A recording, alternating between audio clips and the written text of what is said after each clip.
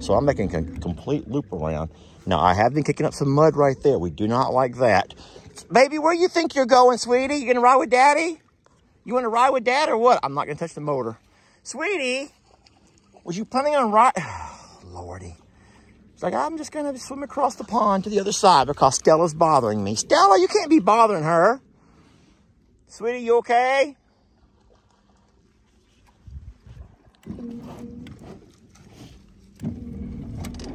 Whoa. See, that's what it keeps doing. Why is it coming up out of the water like that? Is that normal? It has completely come up out of the water.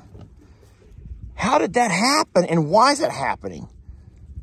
It literally come up out of the water on its own. You guys saw that. I'm just, this, I'm using the, the foot controller, the foot pedal. For some reason, what is it doing? Guys, this might be the Native Americans trying to tell me something. Could this be the natives? The indigenous people saying, uh, uh, we don't do all that mechanized stuff. You want to you want to ride a boat, you got one right there that we will accept. We ain't going to accept all this nonsense. And they may be onto something. I might should reconsider. Don't leave me now, sweetie. I need you more. I need you now more than ever, baby.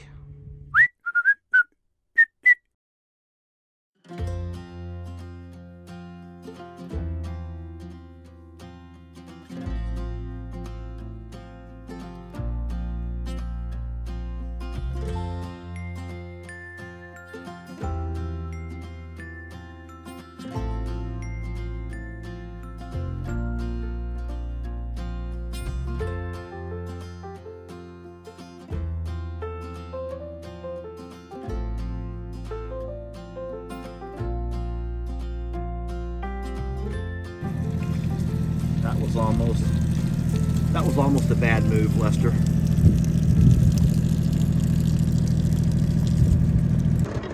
All right, I believe at this point here we are buoyant. We are in water deep enough to crank up the motor and let our boat run for a little bit.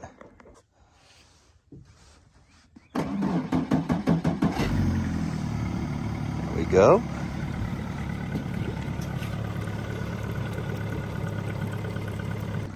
You can see how deep it is here. The trailer is all the way submerged. Uh, we're in plenty deep water. I'm not concerned about that at all. I did not disconnect from the trailer, so we're not gonna like drive the boat around and stuff like that. Even though I do have a trolling motor, I could absolutely do that if I wanted to. I would not want to drive the entirety of the pond using the big motor in case you end up running across, you know, getting in mud and stuff. You don't want to tear your propeller up.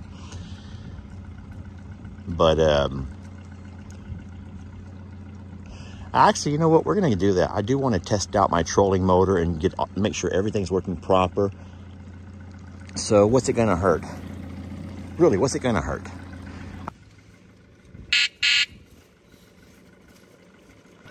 All right, we have disconnected from our trailer. We're gonna slowly back this thing up.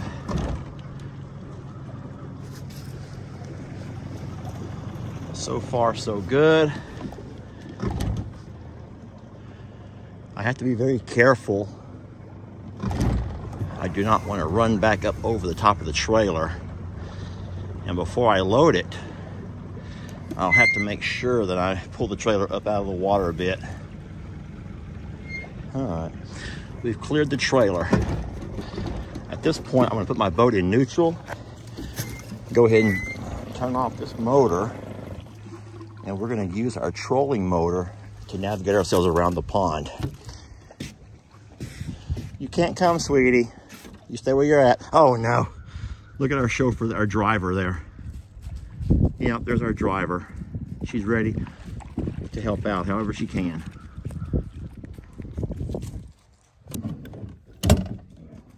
So I don't really know. I've never learned how to use a trolling motor. I don't know why it keeps popping up out of the water like that. Uh, I don't know what I'm doing wrong. I know it's foot, it's foot controlled. How do you steer it though? There's nothing to steer by. And I'm not sure, I don't know how to turn it. All I'm, and then why does it keep popping up out of the water like that? All right, so I have a lot to learn about this boat, guys. This, don't forget that we've had the boat, uh, Aunt Joanne, Uncle Raleigh, we got the boat from them. We've done a lot of work to the boat to get it, uh, to get it running. We've got some accessories put on the boat, but this is one accessory that I've never learned how to use. Now, the problem right now is the trolling motor is actually down into the mud. Well, I may have got myself into a bad situation here. I don't really know what to do. Up, trim, and, oh wait, up, trim, and down. Oh, that's the motor in the back. That's the back motor. That's controlling the back. The big motor. Sweetie, I don't know what I'm doing here, sweetie. You might want to just watch out, though. So what I'm going to do is turn this knob down to a lower gear. I don't need to be going so fast at whatever I'm doing.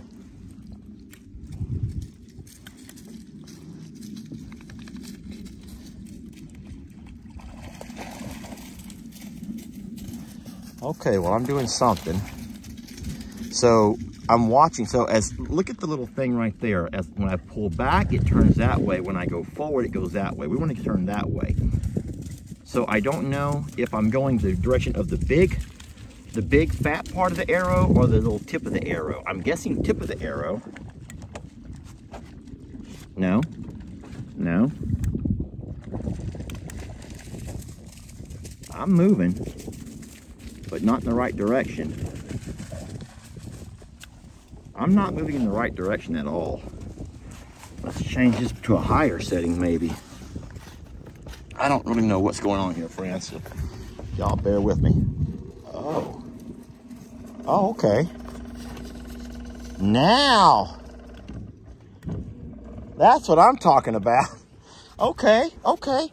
I remember Sean uh, keeping it Dutch when he came out to visit. He and I took the boat out. And he was showing me all this stuff, but I forgot. It's been so long ago.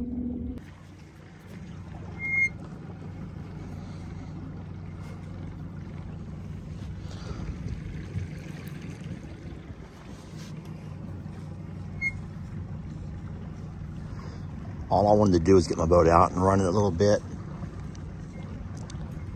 It hasn't been cranked and run since last summer. that's all we're doing. We're blessed the pond is full enough to do this right now. All right, well, that was a fun adventure. It's nice to be able to get the boat out and uh, not have to take it to the lake or anywhere else to get it to run for a few minutes. Hooked up the tractor, backed it right up, cranked it up, let it run for 10 minutes or so. I played around with the trolling motor. Everything's, everything seems to be in good working order.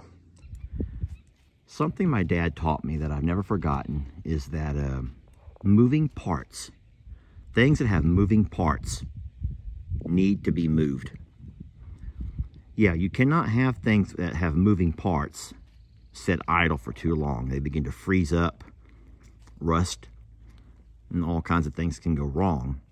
So when you have some kind of a mechanism that has moving parts, it has to be moved.